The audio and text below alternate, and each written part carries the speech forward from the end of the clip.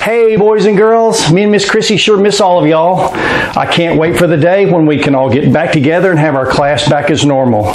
Hopefully, that will be happening soon. I'm going to uh, tell you the lesson today is about a man named Paul. We've talked about him before. And he was traveling around and teaching people about Jesus. There's a lot of people in the area. This was all new information to them. So he traveled around and started telling them more and more about Jesus.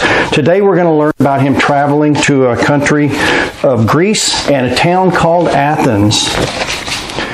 And Paul was traveling and he was waiting on a couple of guys named Silas and Timothy. And while he was waiting on them to arrive in the city, he started walking around in, in Athens was, Athens was a really big town then. It was like a central port. A lot of a lot of people lived there. They they sold a lot of things. It was a very wealthy town. So Paul was walking around and looking, and one thing he noticed right off is that there were idols everywhere. And do y'all know what idols were?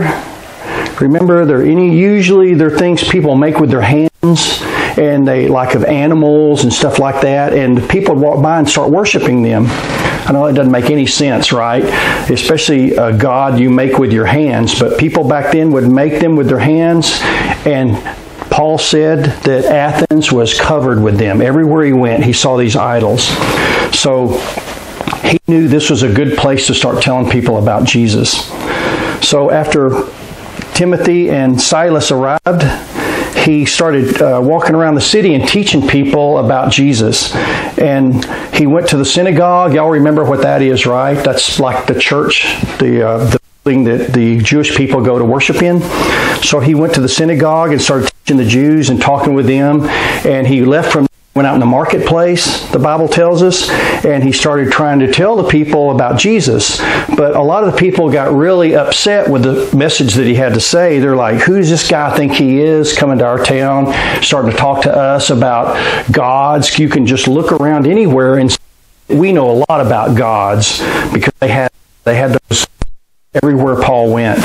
So Paul said, "Well, yeah, that's true. Y'all y'all feel like you know a lot about it, but I'm here to tell you about the one true God that you don't know about."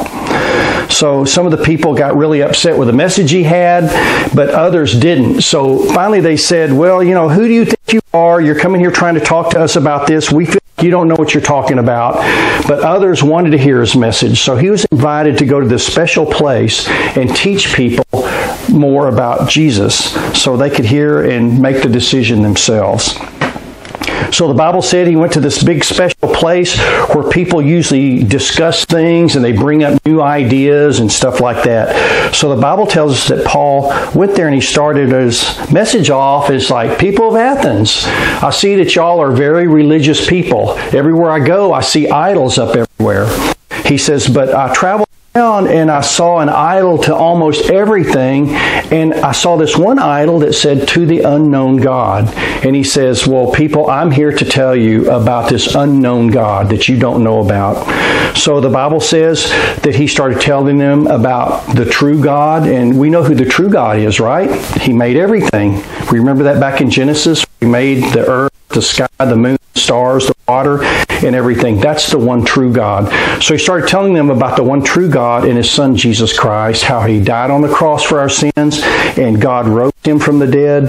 That that's truly the one true God. So the Bible said that a lot of the people didn't really believe it, but here's the good thing is some people did believe it. And the Bible also tells when he finished his story to the people that some came up and they believed and became followers of Jesus Christ because of the story that they heard Paul say. So sometimes when we go out and we try to tell people about Jesus, we get a real negative reaction, right? I mean, look at Paul. Some of these people got angry enough to where they wanted him to leave the city but other people did not. So no matter how the reaction is, how bad it is, there's always God's word is always true, and God's word always goes out, doesn't come back void. And the Bible says that some of these people, even though many, many of them were upset, they listened to what Paul said and they did believe and became followers of Jesus. So I want you to remember that. Sometimes we're at school and we, we might, something may come up about church or something, and people make fun of you. But just remember, like same way with Paul, even though there may be some people that make fun and don't believe and things like that, there are some people that will. So just keep that in mind the way it worked out for Paul here in Athens. I want to say that, uh, like I said at the beginning of the video, that me and Miss Chrissy miss all y'all. We can't wait till we all get back together in one big group again, and hopefully that will happen soon. So thank you for watching, and we'll see you next time.